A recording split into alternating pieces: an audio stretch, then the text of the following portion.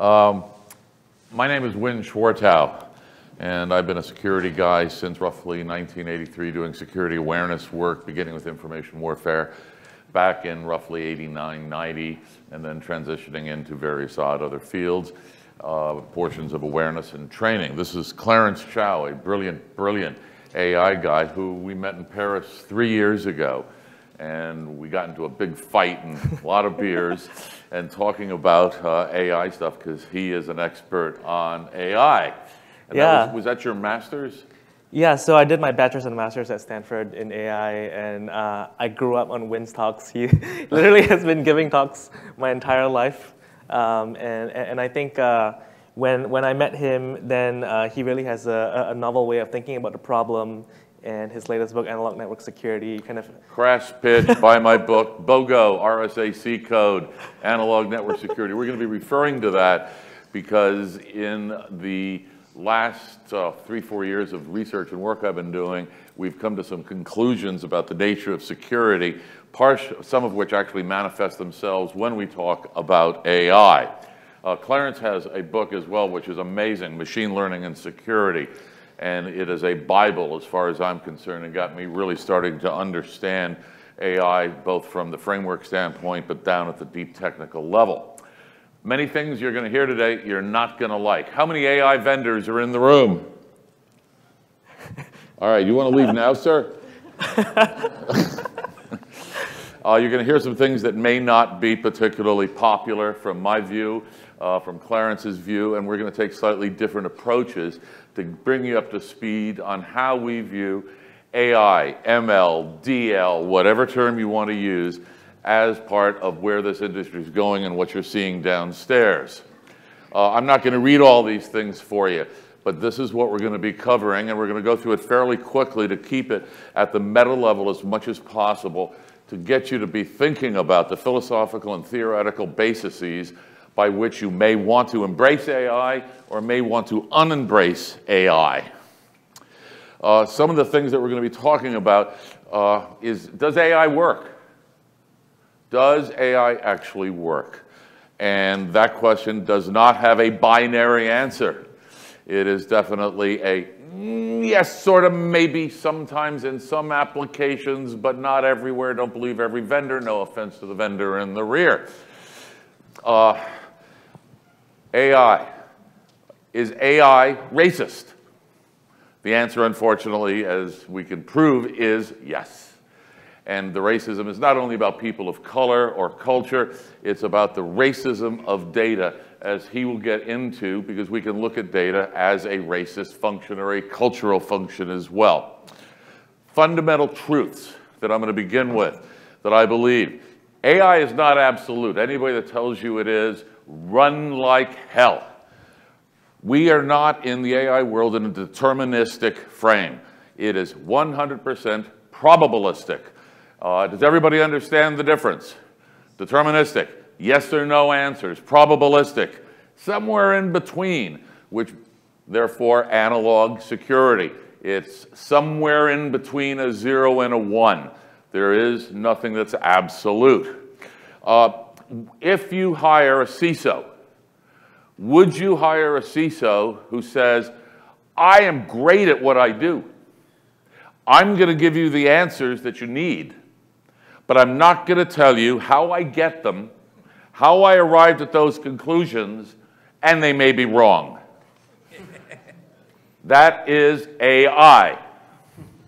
Have fun with some vendors downstairs because this is absolutely true by any good data scientist in the world.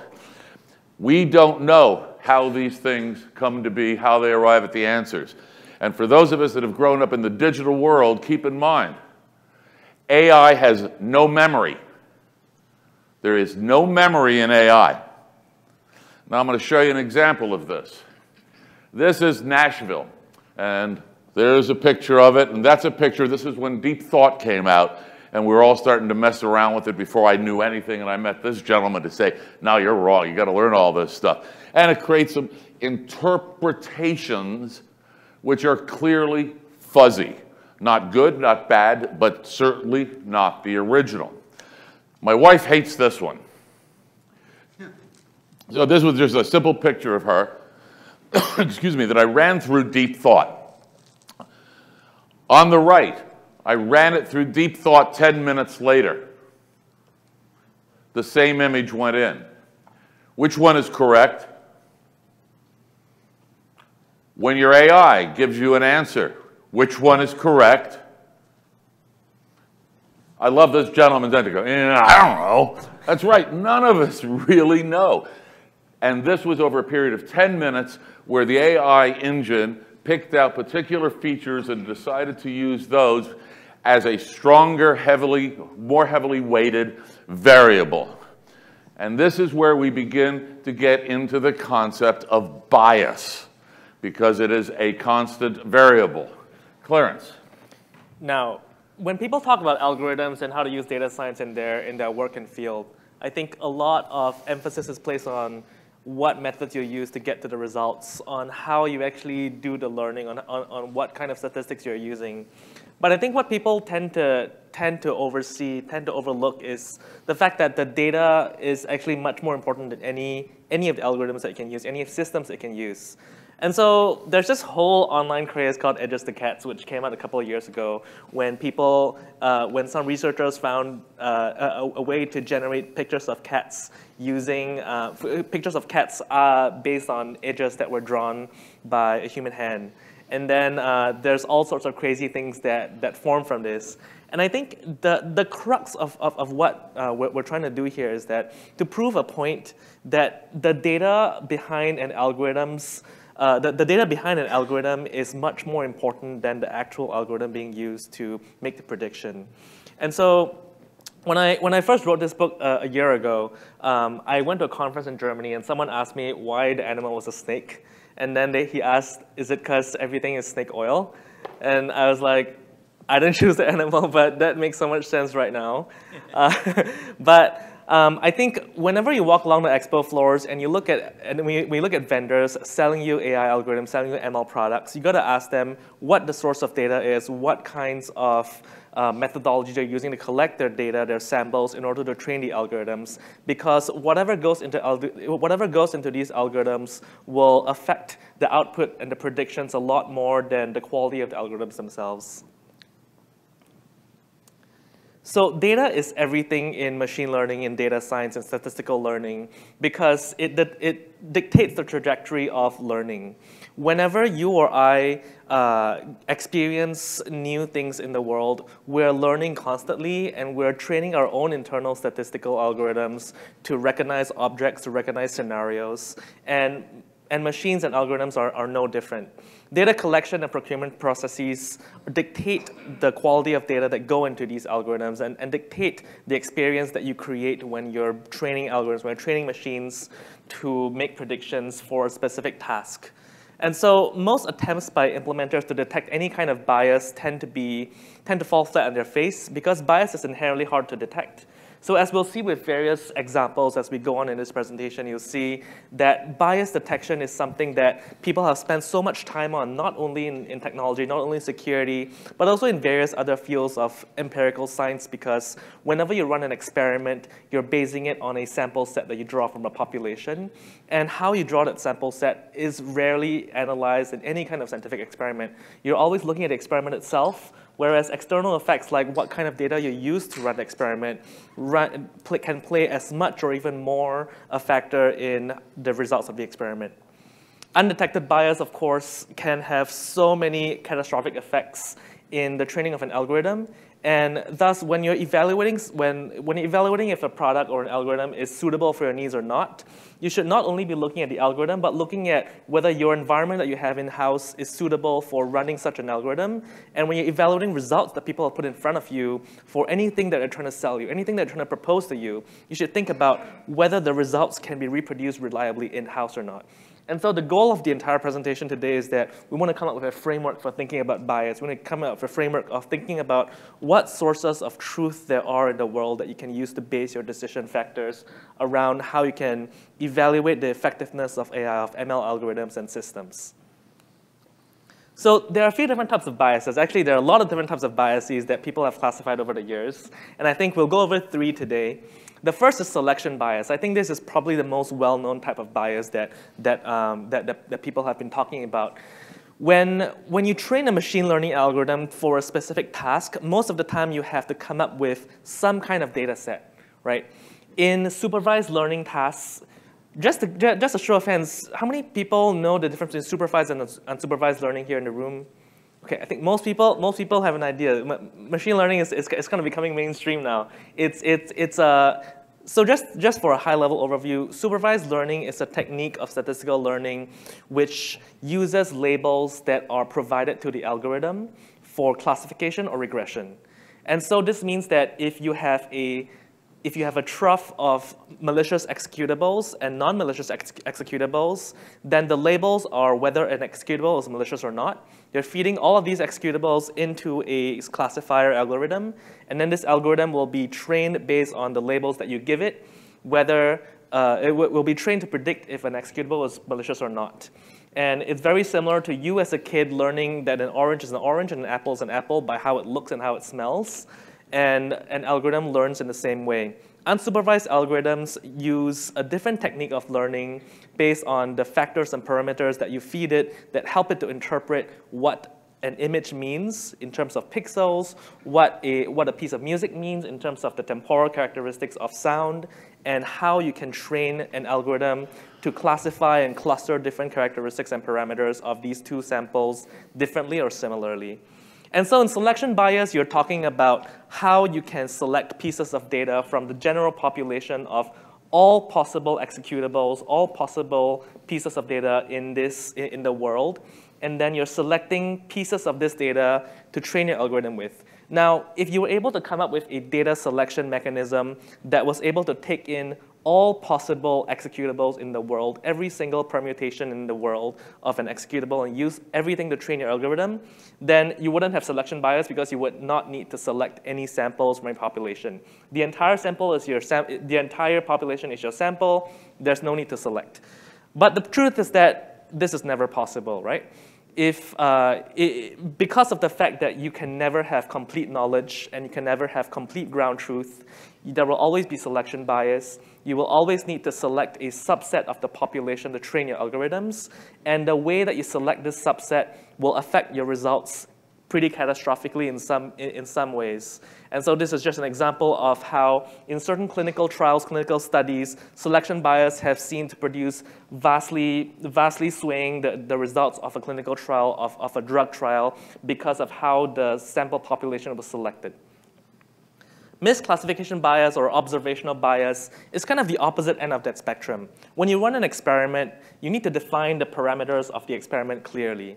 And so what you're, what, what you're seeing in, in, in many of these machine learning uh, results in the security space is that um, they claim a 99% accuracy, zero false positives in many of these systems that they built.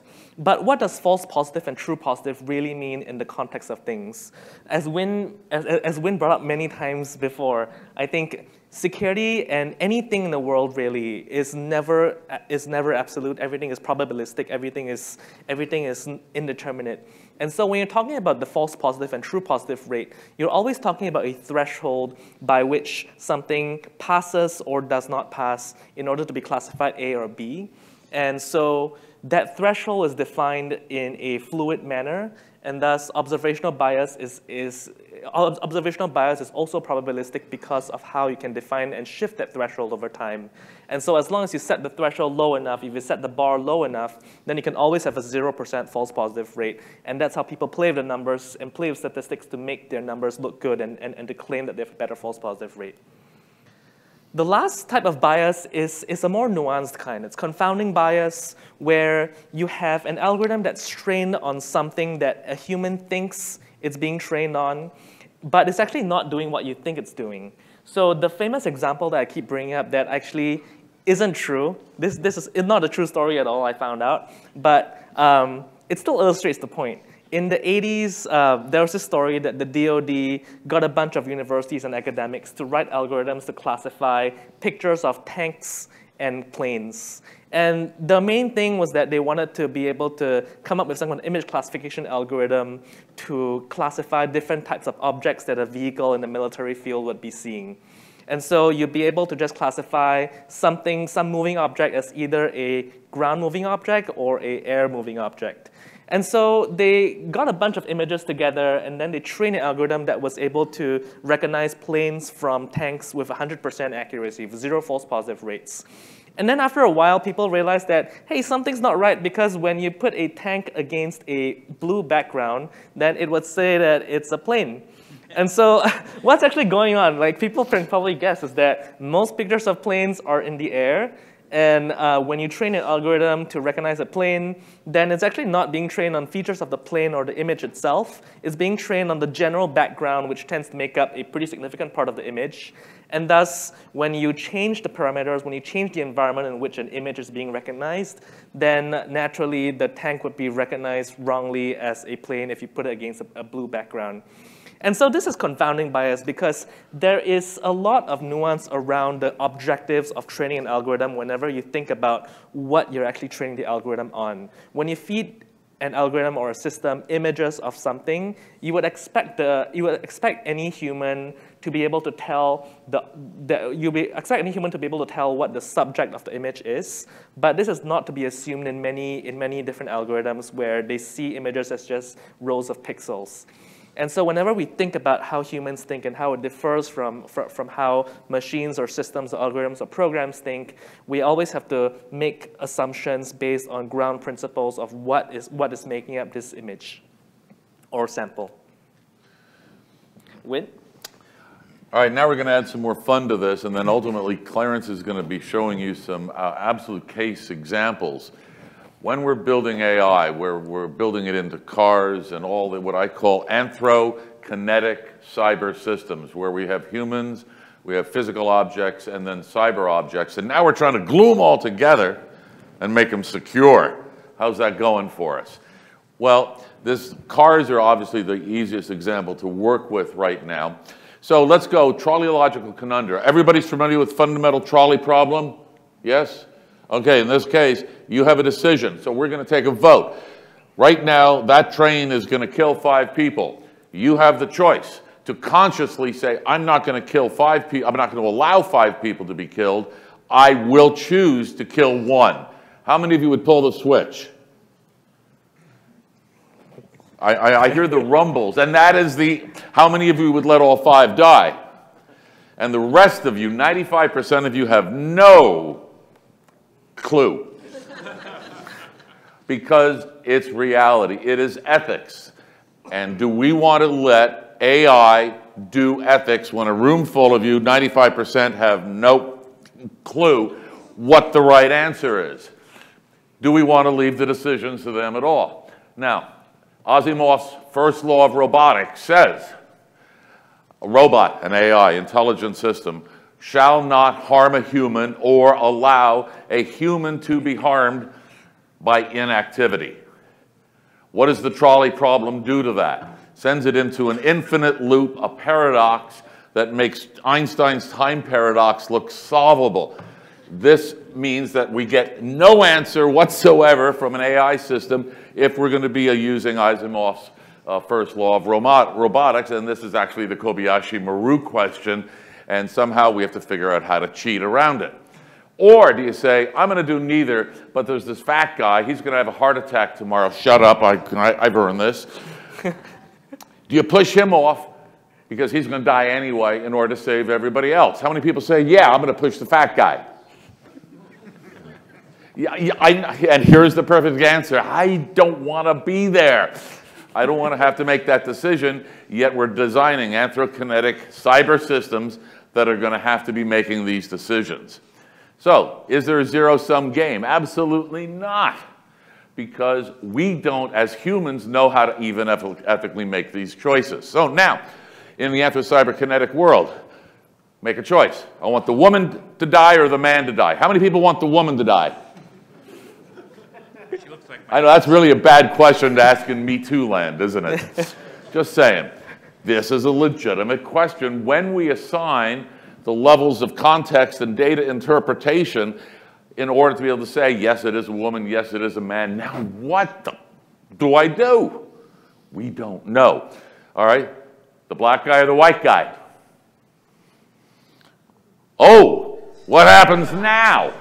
I don't want to hear about it on my report. This is legitimate stuff when different people are choosing which data sets by which to make decisions and put them into something that hopefully has meaningful context. All right, five kids or the 80, which one do you choose? Yet we want Tesla and Google to put that into cars. Are you going to buy an automatic car, sir? I don't think so. Are you going to turn off Alexis at home from now on? You wouldn't have Alexis. There's the right answer.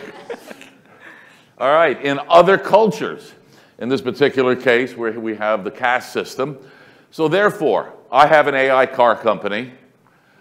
Are the AI ethical rules the same in California, New York, so the South, Europe, Asia, India, Saudi Arabia? Or do I have 50 different AI engines that all have to be independently tuned to the ethical questions of the culture into which I am selling the technology? Does anybody have an answer for this? Does the AI vendor want to say anything? Oh, hell no, you ought to see his head. But this is what we're facing. It's a matter of well, who do you trust? What do you trust? That is, Clarence is pointing out, it is data independent, and in order to get context, you have to have layer upon layer upon layer upon layer, and up to thousands of layers of interpretations, and then give them an appropriate weighting factor. This question actually goes back to Babbage. Garbage in, garbage out. We're in the same place 150 years later when AI companies and vendors are saying, we're using AI. What does that even mean? I know I don't know. I don't know if he knows, and we could fight about it. But somebody threw an algorithm at something and they said, we used a lot of data. Analyze, if you don't know what the data is, you have no clue what the answer is going to be. So pray, Mr. Chio. I'm going to hand it over to you now. oh, wow, okay. yeah. That actually makes me think of, you know, there, there's lots of different societies that are using AI in different contexts. Um, I have lots of friends in China, and as, as all of you may have heard, China uses AI and image recognition in, in pretty weird ways these days, in very real ways. So um, when someone crosses the street or jaywalks, uh, you immediately get a notification on your mobile phone through WeChat saying that you got a fine. And if you happen to have some balance in there, it gets deducted automatically. So what, what, what actually dictates what is ethical and what is not? Uh, actually challenged me uh, in a very public context on that pre previously. And, and I think the, the answer is, is, is really nuanced, right? Because when you're thinking about how you're going to build a system as a programmer with all the responsibility of the world in your hands, to design a system that is unbiased, and I'm not even confident that I, as a person, am unbiased in, in, in many ways. And how can you trust humans to actually make these decisions, to define what is ethical, what is unethical, what is non-biased, what is biased in a society, and then to make systems that propagate these effects across the entire population of people? I think that's a, that's a big question for, to, we have to ask ourselves before we allow this concept to seep into our lives even more. And I think the concept of bias shifting over time and how that has created a, a, a, type of system that really changes constantly that we have to deal with to, to, um, to kind of take, it, take into effect the time-based aspect of what bias is and how systems are accurate and in inaccurate over time. We all expect a given input to give us a correct output. When we're in this world, that rule disappears. Yeah. And whatever algorithm that you, that you build today that, is, that has zero false positives, because humans react because, then, because of entropy, because of the way that different systems work and environments change, you can never expect the same results for the same given system tomorrow, even in the same environment. And so the goal is really to be able to build systems that take into effect the shifting nature of environment and biases and population and samples over time, and then to somehow encode them into such systems And we all have no answers for this. The important thing is to think about how these effects can change your consequences of putting systems in critical contexts, in security, in healthcare, in transportation, in, in, in the judicial system, and then be able to think about how we can start to mitigate some of these effects as time goes on. In this case, what we're looking at is taking the analog concept of security that I've been working on for actually 19 years, and please buy the book, end of press commercial pitch, is a damping factor, and this comes from analog audio and electrical engineering. The goal in my belief right now, and I know that I'm not going to be developing this, uh, Clarence and his folks maybe, is you want to minimize your maximum swing in your pendulum swing. Uh, we can look at it as po politics, the political swing from blue, red, left, right, whatever. And to minimize it more for an accurate, hopefully centrist approach, which then should be more representative of the data set if the data set is done correctly, which means that your data set change is going to have to be updating itself, and it's going to also have to have a degree of self checking self-management via a feedback loop versus just saying, here's my data, there's the algorithm, and you're good for two years because that's all going to be accurate forever. So we're looking at a damping function to, function to be able to minimize the degree of the swing in the bias to approach more and accurate neutrality. Uh, very simple in abstraction, you want to be able to dial your bias controls. Is that dialing a manual process? Maybe. Is it an additional data over time process? Maybe. This is where Clarence will be talking about where the research in this whole area is going. On the left, we've got what a traditional neural network representation would show. And these layers could be thousands of layers deep in order to do complex accuracy. Uh, when you look at some of the uh, facial recognition systems that are out there now, they're doing epic fail in many cases because the data set was based upon white folk. Well, how well does that work on people of color, people of other ethnicities? It doesn't. It shows complete total bias. The differentiation between male and female, we don't know how to do it yet. The data, the answers coming out are wrong and we're trying to use these as accurate representations in order to enhance, in many cases, our, our security. Oh, sorry. And on the lower right, it's taking that same approach and applying the mathematics of analog network security to the same functions that'll be able to give us the output variable, the amount of pendulum swing away from the neutrality that we hope to achieve and we are aiming for. So bias in data sets, looking for neutrality, we really want to be able to come up with some kind of framework to evaluate if the things that we're building have bias in them or the things that we're looking to buy have bias in them, right? Because most of the time when we're looking at how to build such systems, we're never building statistical learning systems from scratch. We're always using some kind of core components, some kind of, some kind of, of, of building blocks in order to build such systems. When you're looking for any kind of human input necessary, then what we have to do would be to interview people to, in, a way that, that, doesn't, that, that doesn't cause any kind of bias to come out when we're collecting this data set. When we're looking for research studies, we need to look for neutral, neutral components, neutral blocks that can make up this entire population, the sample that, that you're building, in order to not have to deal with the effects of bias that will propagate and escalate later on. And then, of course, different kinds of bias that humans have internally, whether it's racial, whether it's ethical, any kind of differences that we internally partition and classify the, the objects and, and the people that we interact with on a day-to-day -day basis will be reflected in, in, the algorithms that we build. And whether this is subversive or, or, or whether it's conscious, we always have to take note of how we can quantify this in a way that enables us to measure it and then minimize it. So this is something interesting that, that, that we actually tried about half an hour ago.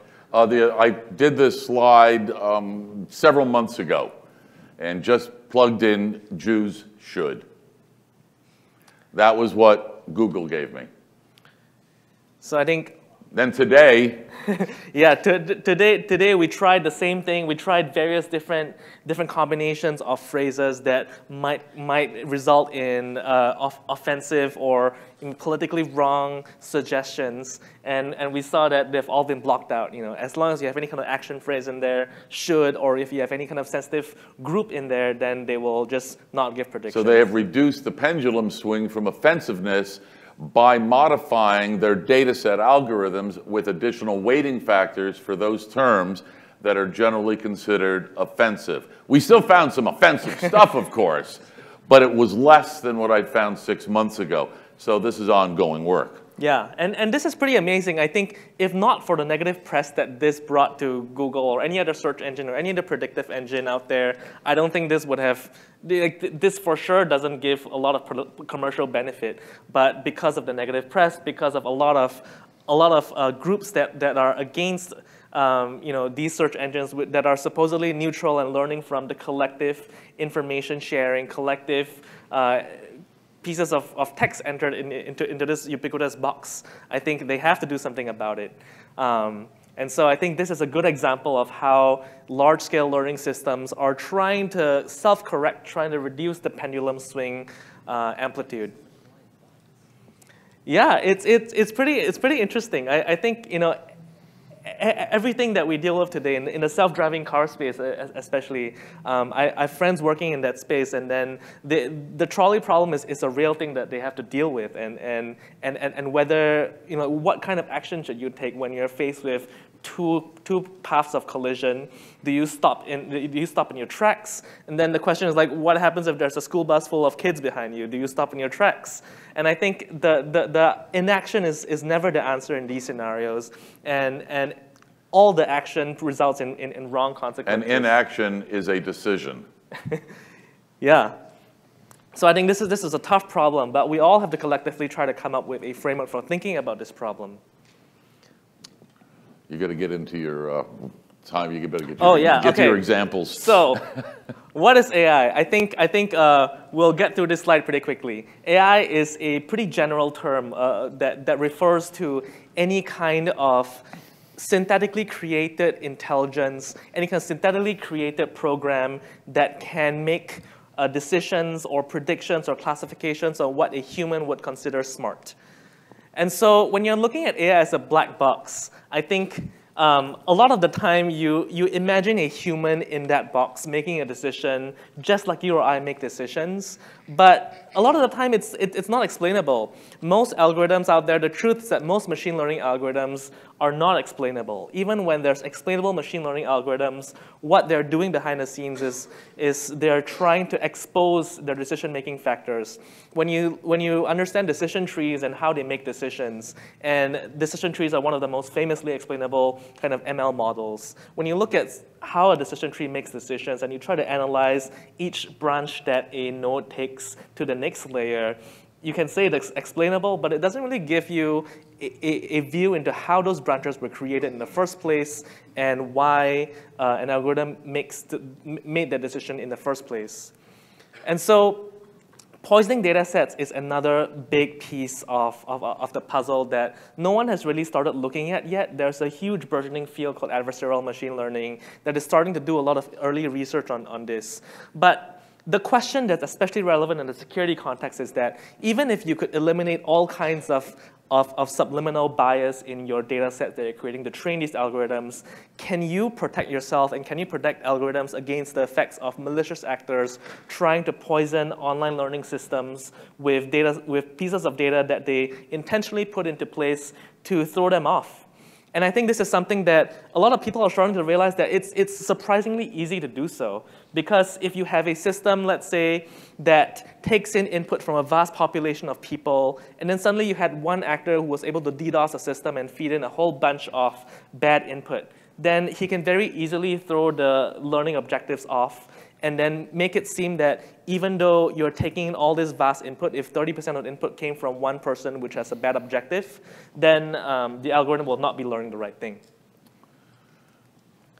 So unintentional bias, confirmation bias, availability, execution override, all, all of these pieces of, of, of bias are subliminal and uh, they're unintentional. And so if you can think about how you, how you can reduce this and, and, and how you can measure it, then you can take that out of, out of the equation, and, and then you can just deal with malicious actors just like we're dealing with uh, hackers and, and, and bad actors in, in the security sphere today. Bias in data sets, uh, well-balanced data sets are scarce whenever you're talking to data scientists who are training algorithms, who are training systems to perform a certain task, most of the time they don't have resources to collect these data sets themselves. They have to get these data sets from various sources online, from various sources academically, and these data sets don't often come with collection methodologies or, or various other uh, pieces of information about why, why this, this data came from only one part of the world and not the other, why it only came from predominantly one race and not another. This, is, this famously caused a lot of a, lot of problems when you're dealing with facial recognition algorithms, when you're dealing with speech recognition algorithms, and can be caused by a vast number of different kinds of biases and effects. When you have missing pieces of data in your, when you have missing columns in your data, how do you, how do you impute this, this data, and, and how do you deal with missing columns and, and, and empty cells? So we'll look at the first case study, which is really uh, one part of two arms of different types of biases unintentional bias. So closed box education is a, is a huge problem in, in any kind of statistical learning system. When you think about a child that grows up in an environment that's created synthetically, that, for which he's only fed certain kinds of images and doesn't get exposed to anything else in the world, then naturally you'll be able to recognize certain types of, of, of objects much better than other types of objects that you're less uh, exposed to. So if you, if let's say I grew up in, in a place where I, I only saw Asians every, every day, which is true, because I grew up in Singapore, all, all I saw was were, were Asian people. And so I'm able to tell all Asian people apart because my, my internal statistical learning algorithms are trained much more acutely to be able to tell one Asian person from another. But when I come to a different type of society and I'm thrown in here 20 years after growing up in, in that environment, then naturally I'm not able to differentiate other races as well as I, as I am the race that I'm, I'm more, I'm more uh, acutely tuned to. And so the same thing happens when you're dealing with algorithms that are trained to recognize faces and photos. When you have developers that are predominantly in one type of culture in one part of the world who are taking in one type of image from the sources they know and the language they know, then naturally the algorithms that they train and the systems they build will expose that bias and very publicly too.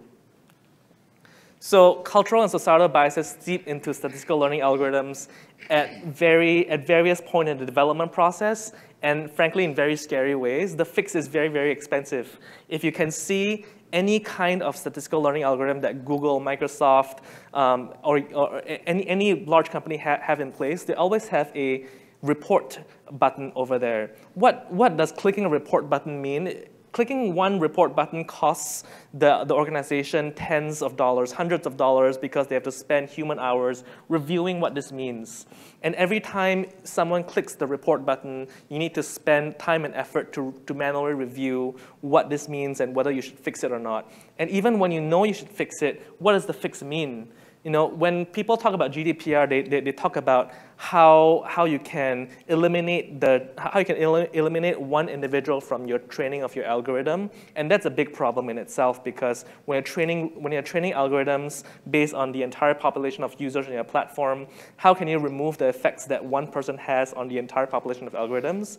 And this is even a more nuanced problem because if your algorithm has some bias that has been trained, how do you trace the sources of this of these bias within your initial training data set?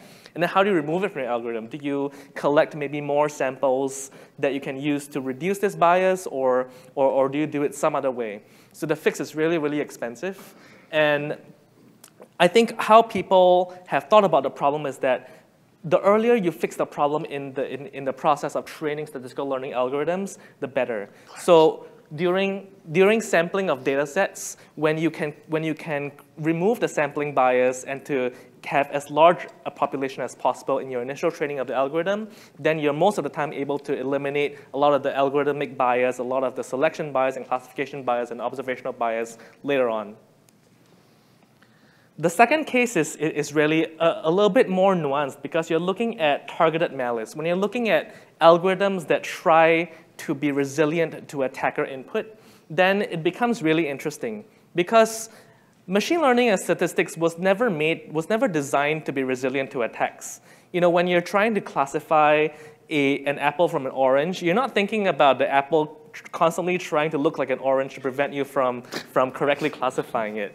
But in, in the sphere of security where the game theoretic concepts around classification really change and really change over time, then this becomes really interesting because all of the algorithms, all the research that's being done that all of ML is being built on today is, is built on the premise that your data set is static, nothing changes over time, and all you have to do is to feed in more data, and whatever the algorithm has learned in the past should still remain valid. But in most cases in security, in most cases in human behavior characterization, that is not true. And especially in this case, we're dealing with attackers that have every incentive to not be classified, to not be characterized by an algorithm, then they're going to be changing a lot more quickly and they're going to be doing a lot to avoid classification. So this is a quick illustration that, that, that we did about a couple of years ago when Google Translate was still taking in lots of, lots of different kind of input. We basically created some kind of DDoS system on Google Translate, and we were able to make translations do the wrong thing. So whenever you uh, enter something into Google Translate, you can report a wrong translation, and then you can suggest the correct translation. As you do that more and more, you start realizing that the translations eventually change to whatever you suggested, right? Because if you do, if you use an obscure enough phrase and, and then you have people that keep giving wrong translations and say that that's the right thing, then the algorithms will naturally try to learn from that. And so any kind of online learning system, online learning systems mean that they take in constant input from users, from end users who are looking at, this, uh, at the predictions of these results, and then trying to give feedback to the system, and the system learns from this feedback. And so you realize that there are tons of different systems out there that are learning online, security systems being one of them because of the adaptive nature of how adaptive systems can learn to adapt to attacker traffic and changing, changing normal traffic patterns. This is an example that I have in my book. Anyone can build this with about 50 lines of Python code. You can have a classifier that works 100% well in classifying uh, web attacks from non-web attacks, and then you can input just 50 samples. 50 samples. You don't even have to use any kind of sophisticated DDoS techniques. Insert 50 samples into this online learning system, and then you can change the boundaries of your decision uh, factor such that you can input an attack that previously would have been detected as an attack, and now, after poisoning, would not. So I think there's lots of ways that we can think about bias. The framework that we think about it, this looks complicated, but really the purple or blue squares over there are the important things that they take note of. In the entire process of training a production machine learning system, we're looking at various different steps along the way, some of which are circular in nature. For example, when you first formulate and explain a problem, let's say I want to train a machine learning problem to detect web attacks from normal human traffic then I want to be able to collect the data. I, I want to be able to define a methodology to collect samples that can be used to you know, train this algorithm, right? Maybe there, it's on the HTTP layer, maybe it's, it's on a deeper layer.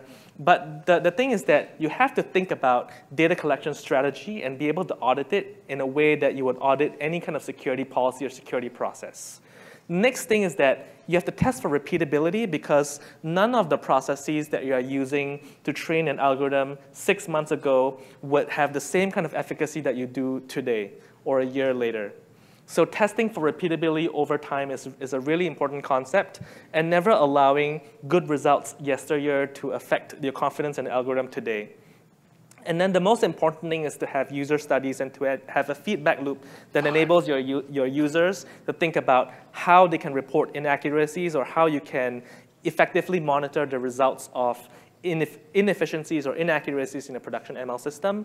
And then when you're done with all of the, when you, when you want to degrade such systems or deprecate such systems, the importance of graceful degradation and then, if, and then eventually dovetailing to the next system that you're building based on what you learn in this next system. So the trust model for AI is really this feedback loop. which is, which is kind of inundated into the whole concept of analog network security, where you have where you have flip-flops, when you have systems that take in input from various parts in your learning and system development process that goes into the training of your algorithm again and again, when you have a mechanism for reporting bias, when you have constant field studies, when you have constant evaluation of policies that are used for data collection, then you can think about how you can start measuring these biases over time and how eliminating a factor of bias can change your accuracy and then can change the number of reports you're getting, can change the number of, of, uh, of data samples that you have to augment or decrease from a certain subset of your sample collection methodology. Explainable AI is an yeah, we're, we're, we're, going to get through this one. We don't have time to get through this one right now. Um, how much should we trust it? I don't know. Uh, do you trust what the vendors say? I don't know. I'm suspicious. The real takeaway from here is that it is not deterministic. The processes and procedures in the last latest round of RSA BS bingo is AI. And no offense, it's just part of the cycle of what we've been going through now since I've been doing this over almost 40 years. And it's the next round. And I'm not convinced that it's really going to be working. What is AI good for? Well, in my mind, okay, Google Translate, great. It's an approximation. It'll give you a good enough fuzzy answer to make sure you get uh, cheese instead of escargot, unless you want some escargot. There are things that it will work for, it will help for. When it comes to life and death, binary decisions, I don't believe in it right now. Do you, do you want to put your company's breach control policy under the test of AI and believe in it even though you don't know how it works? I would argue no. We need humans in the process to be able to ultimately make those decisions handing it over is roughly Terminator 1, Skynet, whatever term, war games you want to play, which were all early representations of the problems that we're facing today.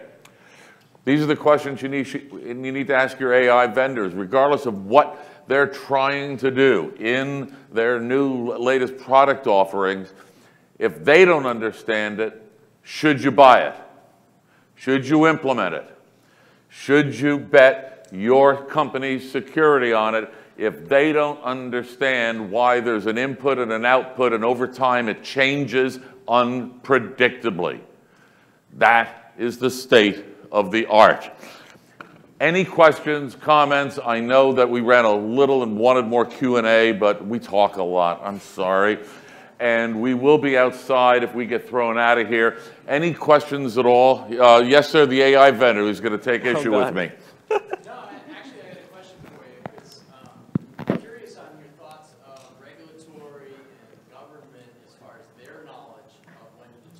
government and knowledge in the same sentence.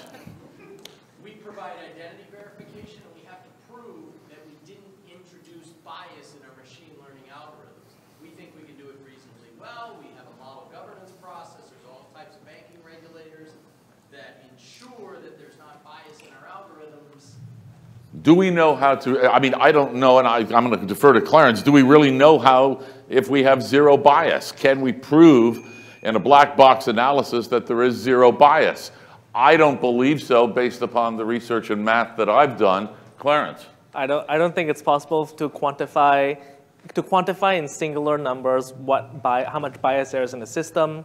But if you have a test set, I think the common academic way to deal with bias is that you have a test set that is independently and separately come up with from your training data set, and then you're running the algorithms and then having an independent panel to, to run reviews. One of the things that I, I do know that after my uh, Google uh, the, the deep thought thing, whatever that was, taking the same question and applying the same question to the same algorithm with the same data set produces different answers. So therefore, if you take a picture of whoever and you put it through the system a million times, the same picture, how is that going to change the bias in the output if the algorithm is non-variable?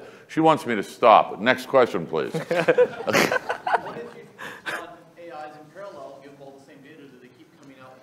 If you put them in parallel, you're going to have a probabilistically, if you apply Bayesian probabilistics to it, you're going to lose. Uh, you want to do it with an AND gate afterwards, and I can give you all the math. It's in the book, believe it or not, how to actually do this. Uh, you don't want to do an OR gate. You want to do an AND gate at the end. Uh, but we'll be outside if you, anybody has any more questions. Uh, thank you very much. And I know I've probably pissed some people off. Sorry.